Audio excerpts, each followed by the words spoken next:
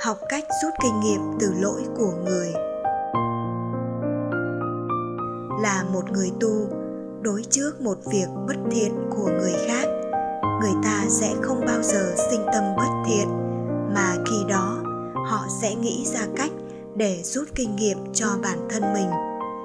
Nếu như mình không có những cái đi trước của người khác vấp ngã, thì mình đi sau cũng sẽ vấp ngã vào đó mình không nhìn thấy người ta vấp, thì mình sẽ không bao giờ rút được kinh nghiệm cho bản thân.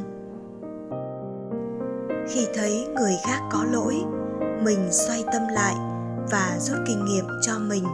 Lần sau, nếu như rơi vào hoàn cảnh của người ta, mình sẽ xử lý như thế nào để cho mình không bị vấp?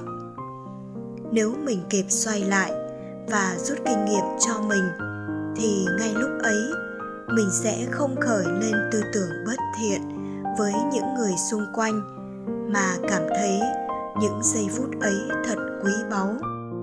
Nếu không, mình đã không rút cho mình một bài học gì. Nếu mọi sự việc xảy đến, mình đều có thể rút kinh nghiệm và bài học cho mình, thì trên đường tu, mình sẽ tiến bộ rất nhanh. Tất cả mọi việc trong pháp giới này không tồn tại chữ nhưng. Bởi vì nếu pháp giới này vì mình mà bức xúc, thì pháp giới này làm gì có chỗ để rút kinh nghiệm? Cũng vậy, mỗi chúng sinh sẽ có bên ngoài tác động là sấm sét, là bão bùng, là hoàn cảnh, vân vân. Nếu lúc nào mình cũng đổ lỗi là do bên ngoài, nên tâm mình mới khởi lên như thế thì tâm của mình sẽ rất khó diệt. Mình phải tu làm sao để tâm mình luôn bất động giữa dòng đời luôn biến động này? Dòng đời biến động là khi người ta đang tốt với mình. Người ta trở mặt ngay. Lúc ấy, mình phải làm sao để tâm mình không giận hờn, không oán ghét mà vẫn yêu thương họ?